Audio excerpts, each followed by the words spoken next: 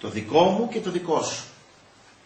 Ο ψυχρός αυτός λόγος που φέρνει στη ζωή μας όλες τις συμφορές και που προκάλεσε τους αναρρύθμιτους πολέμους. Το δικό μου και το δικό σου. Ο ψυχρός αυτός λόγος που έφερε στην οικουμένη άπειρους πολέμους. Το δικό σου και το δικό μου. Αυτή ακριβώς είναι η αιτία που ανατρέπει και αναστατώνει το απάντα. Εκείνος που επιδιώκει οποιοδήποτε αγαθό χωρίς ταπεινοφροσύνη χάνει και καταστρέφει τα πάντα. Περισσότερο μπορεί να πληγώσει τον άνθρωπο το να νικηθεί από τον ίδιο τον εαυτό του παρά να νικηθεί από άλλους. Αν επιτύχουμε κάποιο μικρό κατόρθωμα, το προβάλλουμε προς κάθε κατεύθυνση. Μια νίκη κάτι να επιτύχουμε στον εαυτό μας. Κάτι καλό να κάνουμε. Το προβάλλουμε προς κάθε κατεύθυνση. Και δεν πάβουμε, λέει ο Χρυσόστομος, να υπερηφανευόμαστε και να φουσκώνουμε. Έως ότου και το μικρό αυτό και ασήμαντο πράγμα που κάναμε, λόγω της αλαζονίας μας, να το καταστήσουμε στους οφθαλμούς του Κυρίου άχρηστο. Να το έχουμε εξοντενώσει. Τα δικά μου, καταραμένος αυτός ο λόγος. Και ακάθαρτος και εισήχθηκε στον κόσμο από τον διάβολο. Όλα τα πιο αναγκαία για τη ζωή τα έκανε ο Θεός κοινά για όλους. Δεν μπορείς να πεις το δικό μου φως, δεν μπορείς να πεις ο δικός μου ήλιος, το δικό μου νερό. Βλέπετε, όλα τα σπουδαία πράγματα πάνω στη γη και στον ουρανό είναι κοινά για όλους μας. Δεν υπάρχει στα μοναστήρια το δικό μου και το δικό σου. Αλλά έχουν εξοριστεί αυτές οι λέξεις από το στόμα των μοναχών. Διότι είναι άπαντα κοινά. Και έτσι η αιτία πολλών διαπληκτισμών και συγκρούσεων αποφεύγεται. Όπου επικρατεί το δικό μου, η φιλαυτία, ο ατομισμός και το δικό σου, εκεί κάθε γνώμη γίνεται αφορμή διαπληκτισμού και φιλονικίες. Γιατί ο άλλος έχει άλλη γνώμη και αλλιώς σκέφτεται. Όπου όμως δεν υπάρχει το ίδιο θέλημα, επικρατεί με κάθε συνέπεια η ομόνια και η ειρήνη. Βλέπετε λοιπόν ότι και εδώ ο Χρυσόστομος στο θέμα της φιλαυτίας, του ατομισμού, του εαυτού μας, βλέπετε ότι τα θεωρεί αυτό το πράγμα, αυτό το γεγονός που συμβαίνει στην ψυχή μας, αυτό το πάθος αν θέλετε, αυτό το αμάρτημα που λέγεται αυτός μας, το θεωρεί ότι είναι η αιτία των μεγαλύτερων συμφορών επάνω στη γη. Και η αιτία συγκρούσεων και πολέμων. Έτσι γίνονται οι πόλεμοι. Συναντιόνται δυο πρωθυπουργοί, εμένει ο καθένας στο δικό μου και στο δικός σου και γίνεται αιτία πολέμου. Αρχίζει η σύγκρουση. Ή κάνεις αυτό που λέω εγώ ή χτυπάω λέει ο άλλος και αρχίσει ένας πόλεμος. Το ίδιο γίνεται και για ένα μέτρο γης. Για ένα μέτρο γης το ίδιο. Δύο άνθρωποι σε ένα χωράφι, όχι εδώ πρέπει να το βάλεις το πολύ. Όχι εδώ είναι δικό μου, όχι εδώ είναι δικό σου. Εκεί είναι το δικό σου, εδώ είναι το δικό μου. Τελείωσε. Μπορεί το παλού και αυτό να σου το κεφάλι μετά. Και να γίνει αιτία κακού, να γίνει αιτία φόνου.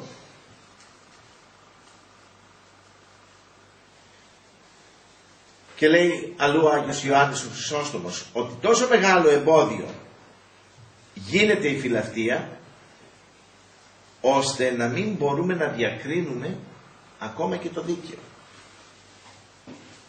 Δηλαδή δεν μπορούμε να έχουμε αντικειμενική κρίση. Δεν είμαστε αντικειμενικοί. Ο φύλακτος άνθρωπος, ο ατομιστής δεν μπορεί να είναι αυτός που θέλει τα του εαυτού του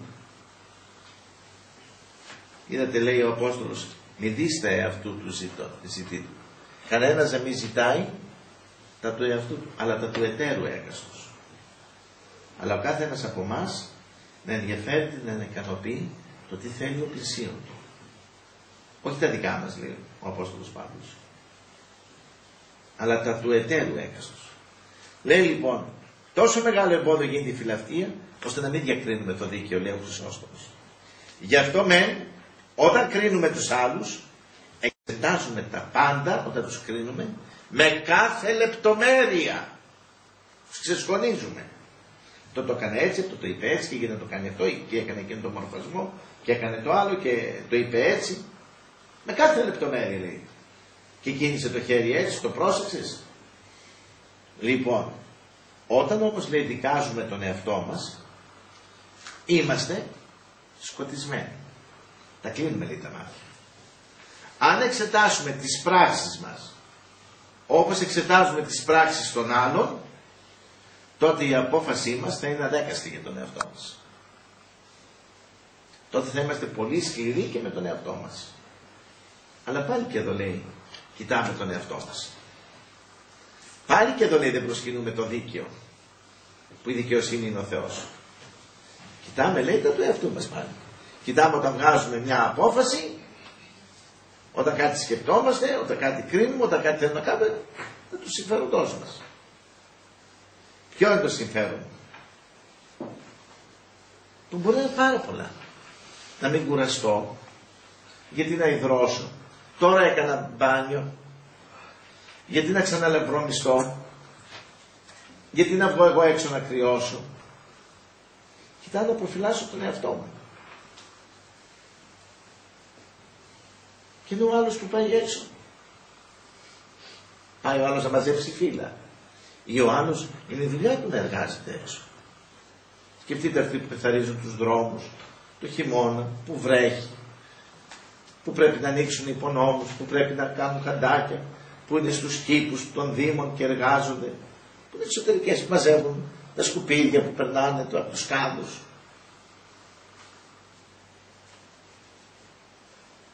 Έτσι.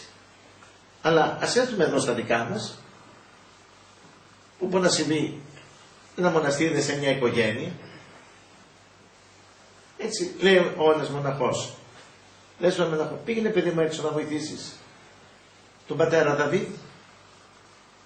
Όχι τώρα εγώ έκανα μπάνιο γέροντα. Πάλι να υδρώσω, δεν μπορώ έξω, κάνει κρύο, θα κρυώσω. Δεν σκέφτεται τον άλλον. Σκέφτεται τον εαυτό του. Αυτό είναι η φιλαυτία. Αυτός είναι ο ατομιστής. Δεν σκέφτεται τον άλλο. Και να πει καλά. Όπως πήγε ο άλλος και ο άλλος θα υδρώσει και εκείνος θα κρυώσει. Μαζί του θα κρυώσω κι εγώ. Μαζί του θα υδρώσω κι εγώ.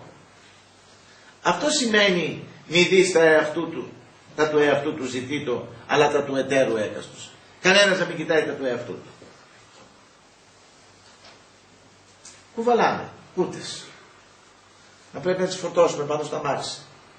Θα πρέπει να τις πάμε από εδώ. Να τις μεταφέρουμε στην έκθεση. Ή θα πρέπει να πάμε, αν πάμε έξω, κάπου να, πώς το λένε, να τις πάμε κάπου αλλού, εν πάση περιπτώσει. Και λες τώρα εσύ, βαριές από τις κούτες.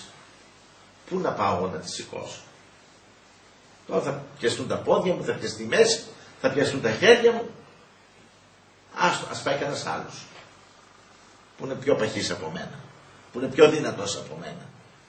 Και αυτομάτως σε γλιστράς και τι κάνεις. Φεύγεις. Φεύγεις. Βρίσκεις μια καλή δικαιολογία στον εαυτό σου. Καλύπτεις τον εαυτό σου και ξεγλιστράς. Και λες γιατί να πάω εγώ, ας πάει ο άλλος.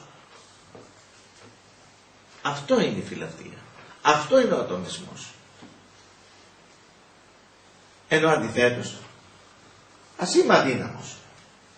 Ας είμαι αδύνατος. Μην κρίνω το άλλο είναι πιο παγής. Να μπορεί να το σηκώσει. Ξέρετε πολλές φορές και ένα απλό χεράκι να βοηθήσεις.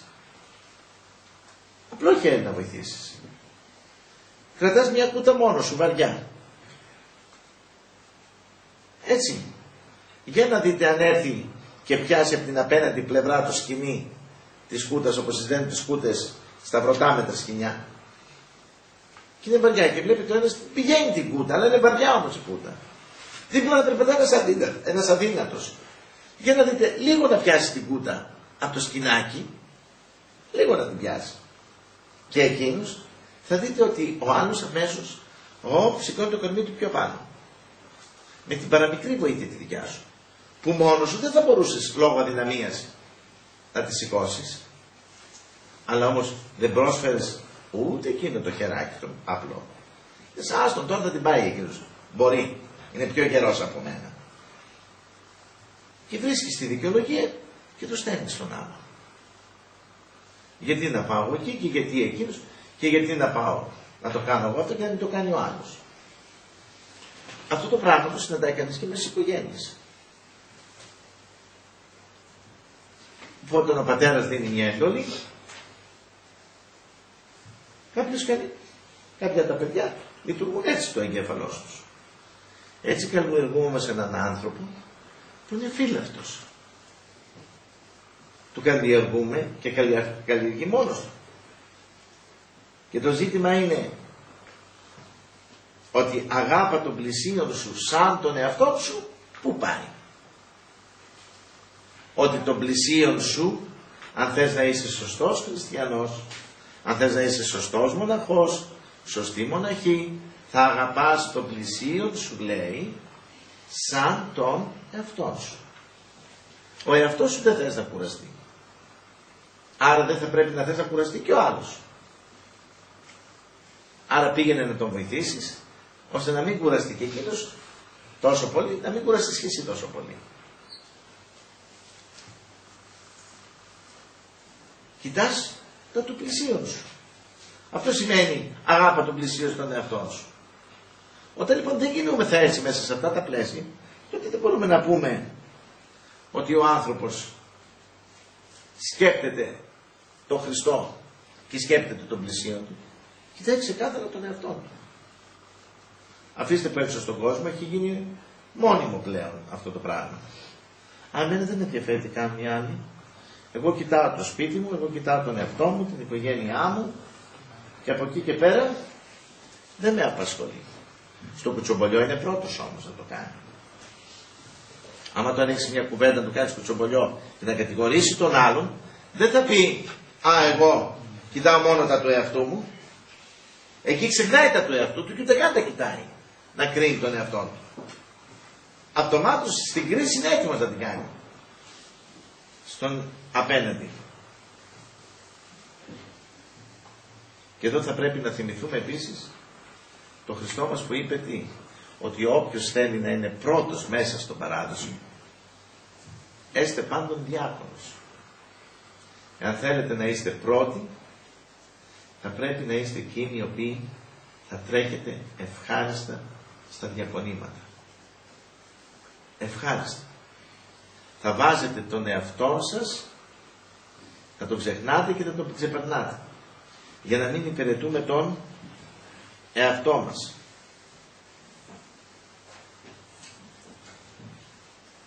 Λέει ο Άγιος Θεοφάνης, αν δεν κάνω λάθος, ότι από τη μία λέει θέλουμε να σωθούμε. Θέλουμε να εισέλθουμε στη Βασιλεία του Θεού. Θέλουμε να κερδίσουμε τον Παράδεισο. Αλλά από την άλλη λέει συγκαταβαίνουμε στα θελήματά μας. Ε, δεν μπορούμε λέει να το κάνουμε αυτό. Θέλουμε να σωθούμε, αλλά την άλλη θέλουμε να κάνουμε και το δικό μας. Ε, δεν γίνεται λέει ο Άγιος Θεοφάνης αυτό. Ούτε είσαστε τη συγκυρίες δουλεύεις. Δουλεύει. Δεν μπορείτε λέει να το κάνετε αυτό. Ή αν θες να σωθείς θα υπακούς στη φωνή του Θεού και θα κάνεις το θέλημα του Θεού και όχι το δικό σου. Και γι' αυτό από την αρχή ο Χριστός ξεκαθάρισε το τοπίο, πολύ καλά το ξεκαθάρισε, λέγοντας τι, ως της θέλει ο πίσω μου έλθει, απαρνησάς το εαυτό. Είναι η πρώτη εντολή που ξεκίνησε. Είναι η πρώτη του εντολή που ξεκίνησε ο Χριστός. Όποιος θέλει να με ακολουθήσει και να λέγεται μαθητής μου, να λέγεται χριστιανός και πολύ περισσότερο αν κάποιος τον ακολουθήσει και αφιερωθεί και γίνει μοναχός ή μοναχή, απαρνησάς στο εαυτό. Δεν θα ξανασκεφτεί τον εαυτούλη του. Ούτε την ξεκουρασή του, ούτε το πόσο πεινάει, ούτε το πόσο διψάει, ούτε το πόσο κοιμήθηκε. ούτε το πόσο ξεκουράστηκε, ούτε το πόσο δούλεψε. Τα ξεχνάει τα του εαυτού. Απαρνησάς το εαυτό. Μέχρι θανάτου. Τι σημαίνει μέχρι θανάτου; Μέχρι να πέσω κάτω και να πεθάνω. Από την κούραση. Αυτό σημαίνει υπακοή. Όχι στον εαυτό μου και αρνούμε τον εαυτό μου. Αυτό σημαίνει αρνούμε τον εαυτό μου. Και τότε λέει ο Χριστός απαρνησάς τον εαυτό μου. Και επειδή αυτό δεν είναι κάτι εύκολο. Συνεχίζει παρακάτω και λέει η Γραφή. Το λέει ο Χριστός μας δηλαδή. Και αράτω το σταυρό αυτό. Από εκείνη την ώρα θα σηκώνεις στην πλάτη σου ένα σταυρό. Θα σηκώνεις στην πλάτη σου ένα σταυρό. Αυτό είναι άμα θες να είσαι χριστιανός. Ή να είσαι χριστιανή. Ή να είσαι μοναχός. Ή να είσαι μοναχή. Άμα δεν σε αρέσει υπάρχει ο βουδισμός. Ο οποίος μιλάει για τον Ιρβάνα, να κάθεσαι ο κλαδόν όλη την ημέρα και να κάνεις αουμ και να επικαλείσαι το. Να προσπαθείς να πιάσεις την αρμονία του σύμπαντος. Και να φιλοσοφείς. Αυτό και κοιτάς τα του εαυτού σου εκεί. Στο βουδισμό κοιτάς τα του εαυτού σου. Και γι' αυτό όλες αυτές οι φιλοσοφίες και τα λοιπά μιλάνε και έχουν να κάνουν γύρω με τον άνθρωπο. Πώς με τις εσωτερικές δυνάμεις μου, πώς με τον εαυτό μου θα υπερβώ τα προβλήματα που έχω, θα βρω την γαλήνη της ψυχής μου, θα βρω την ηρεμία του πνεύματός μου, αλλά από όλα λέει εξαρτώνται από τον εαυτό μου. Κοιτάτε ότι ο Χριστός λέει το ακριβώς αντίθετο μέσα στον χριστιανισμό. Όσοι με ακολουθείτε, ξεχάστε να ασχολείστε με τον εαυτό σας. Ξεχάστε να ασχολείστε με τον εαυτό σας. Αν είστε ωραίοι, αν είστε άσχημοι, αν είστε έτσι, αν είστε αλλιώς. Δεν ασχολείστε με τον εαυτό σας. Ούτε κάνετε τα του εαυτού σας. Εκείνο που κοιτάτε είναι ένα. Να εκτελείτε το θέλημά μου. Βγάλτε το δικό σας θέλημα, βγάλτε το δικό σας αυτό και εφαρμόστε το δικό μου. Κλείνοντας λοιπόν, ερωτώ. Μέσα στην καρδιά μας κάνει κουμάντο ο Χριστός, είναι ο Κύριος της καρδιάς μας ή είναι ο εαυτός μας. Ποιος είναι ο Κύριος τελικά της καρδιάς μας και της ψυχής μας; Θα διαπιστώσετε στην εποχή που ζούμε, ελάχιστοι άνθρωποι έχουν ως Κύριόν τους τον Ιησού Χριστό. Οι περισσότεροι από εμάς έχουμε τον εαυτό μας. Και γι' αυτό έχει δίκιο ο Χρυσόστομος που λέει όταν κοιτάς τον εαυτό σου, το δικό σου και το δικό μου, αυτομάτως αυτό είναι η αιτία όλων των κρατών. Και γι' αυτό και η κοινωνία πάει κατά διαβόλου. Πάει κατά διαβόλου. Εμείς είμαστε η αιτία και μην αιτιόμεθα άλλους. Μην αναζητούμε άλλο την αιτία. Η κοινωνία δεν χαλάει από μόνη της.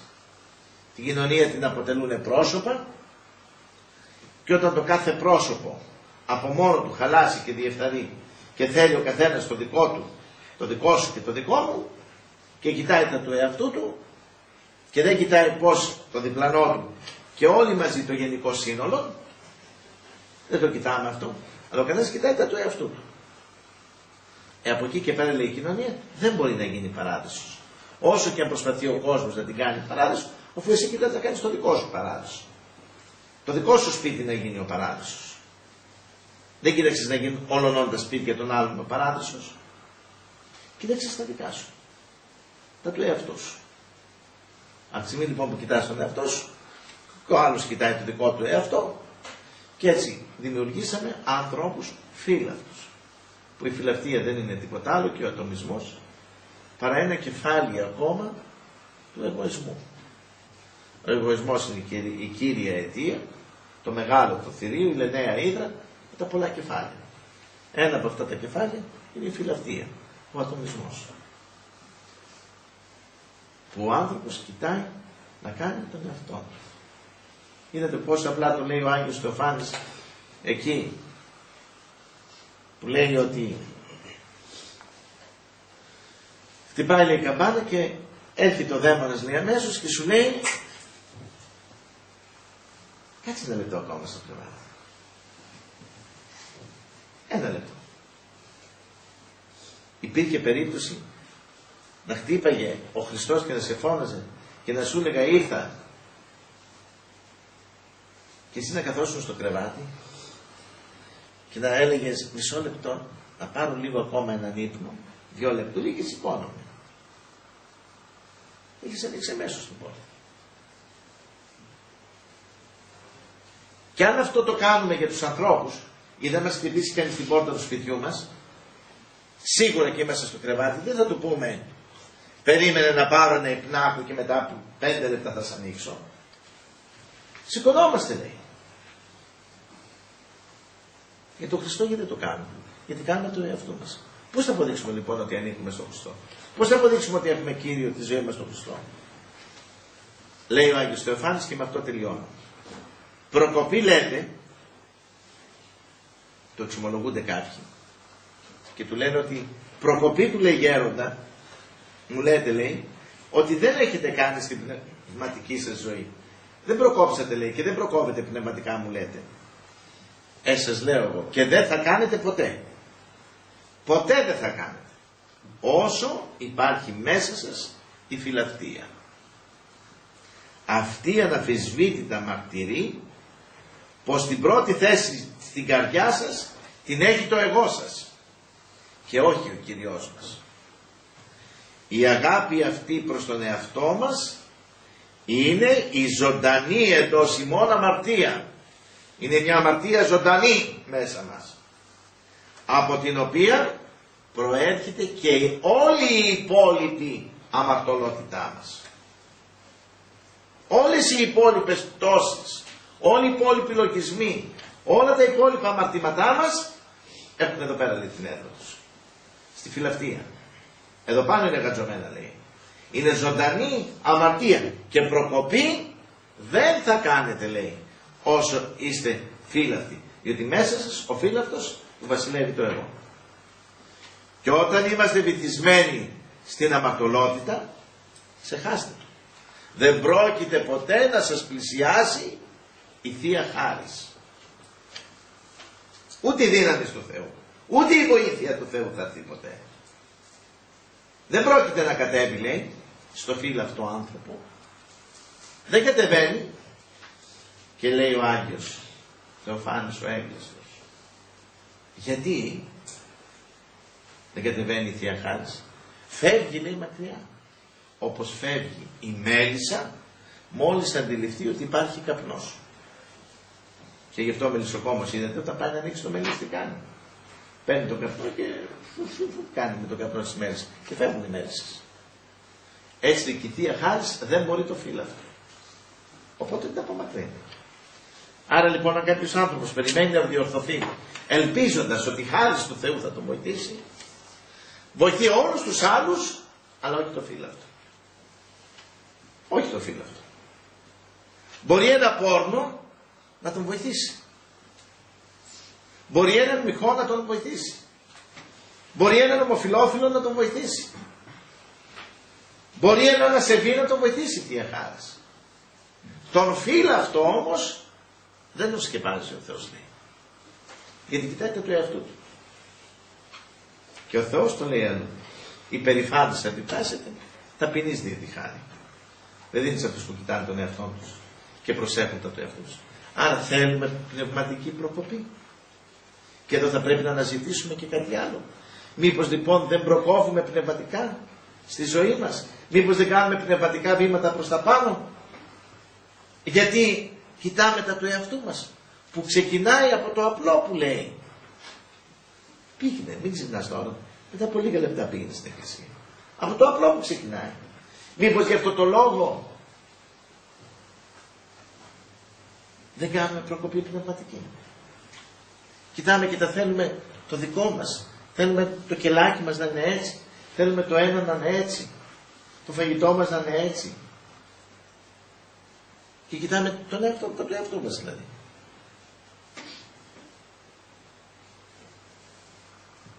Οπότε προκοπή λέει δεν θα κάνεις πνευματική.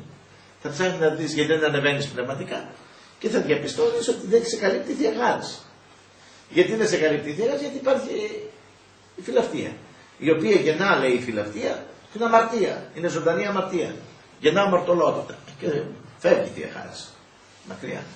Φεύγει η Θεία Στο βούρκο μόνο τα γουρούνια πάνε. Στην αμαρτωλότητα μόνο ο διάλογος θα τρέσει. Οπότε εκεί που λες θα διορθωθείς, θα διορθωθείς, δεν διορθώνεσαι και γι' αυτό πέφτεις και λες αχ θα διορθωθώ. Και ξαναπέφτεις, αχ θα διορθωθώ. Και ξαναπέφτεις. Αυτό θα πρέπει να σε προβληματίσει. Γιατί δεν προχωράω πνευματικά; Γιατί όλο πέφτω; Και η πηγή σου λέει ο Άγιος Στοφάνης είναι ο εγωισμός σου και η φιλαυτία. Το ότι κοιτάς τα του σου. Το ότι προσέχεις τον εαυτό σου. Το ότι έχεις ένα ισχυρό εγώ μέσα σου. Που είναι ζωντανή αμαρτία αυτό το εγώ.